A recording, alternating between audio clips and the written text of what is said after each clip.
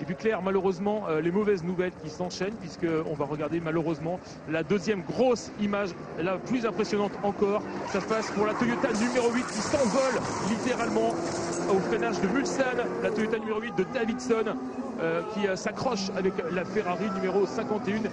C'est impressionnant, évidemment, cette image claire de la sortie de la Toyota numéro 8. Il est resté très longtemps dedans, Davidson. Il est peut-être d'ailleurs encore en ce moment euh, dans sa voiture. On me le confirme euh, à l'instant, il est dans sa voiture. La voiture médicale claire s'est rendue euh, à ce freinage de Mulsanne pour évaluer évidemment l'état de santé de Davidson à l'intérieur de la Toyota numéro 8 qui occupait à ce moment-là la place de deuxième au classement général. Évidemment, on s'inquiète surtout pour la santé du pilote. Claire, pour l'instant, pas, merci de, Benoît. pas de nouvelles concernant sa santé. On Mais, fera le point euh, la- peut-être, la Benoît. voiture de sécurité qui est en flou. Merci Benoît.